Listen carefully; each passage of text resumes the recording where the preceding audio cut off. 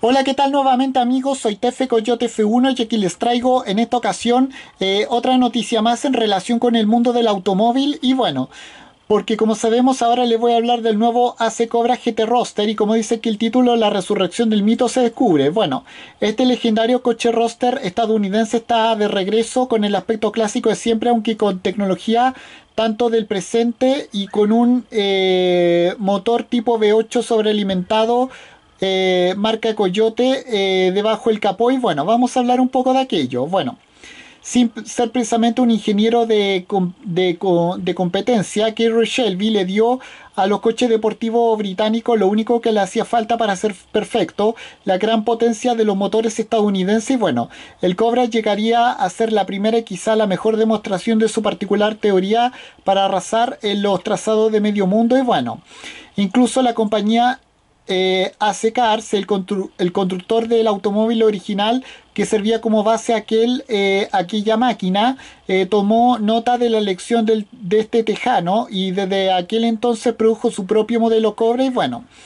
un coche que pesa a la, a la doctrina electrificadora se, hace, que se, se está sentando ya en Europa eh, y que ya dejó sus propias versiones totalmente eléctricas, está listo para regresar en este año 2023 totalmente renovado, aunque sin alterar su esencia con el nombre de AC Cobra GT Roster, un genuino coche deportivo que luego de una serie de teaser por fin se puede ver con todo detalle. Bueno, es una frase ya muy manida, pero se cree que cuando se dice que es lo mejor que defina este nuevo Cobra GT, y bueno, para empezar, la firma automotriz estrena en él materiales novedosos y a la altura del siglo XXI. Por ejemplo, el chasis con formato tubular está, eh, está fabricado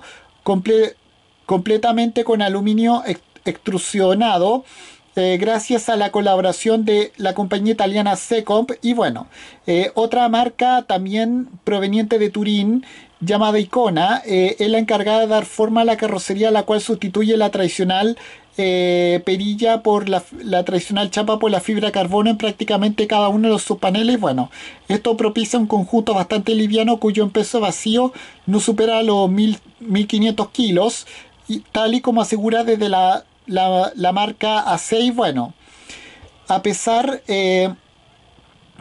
a pesar de todo, eh, la silueta clásica y musculosa del modelo original no cambió prácticamente nada, únicamente la presencia de faros LED eh, más modernos, las nuevas ruedas y llantas y el, parabrisas de nuevo diseño y la ausencia de elementos cromados lo diferencian estéticamente del, coche clásico y bueno, incluso debajo de su capó eh, eh, habrá una vez más un propulsor tipo V8 aunque con muchas cosas, aunque como muchas eh, otras cosas, será una, una mecánica adaptada al presente. Este, este Cobra eh, GT va a recibir el sempiterno eh, propulsor tipo V8 Coyote de 5 litros, origen Ford, generosamente sobrealimentado por un compresor mecánico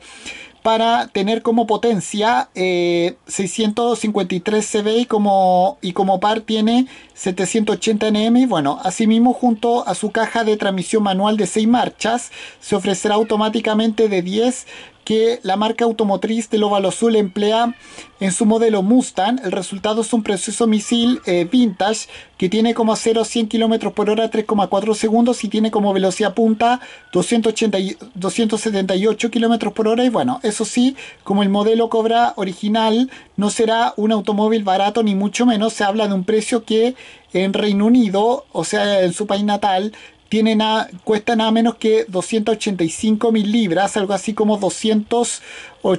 281 millones de pesos chilenos. Y bueno, y con esto me despido. Adiós, como fuera. Chao.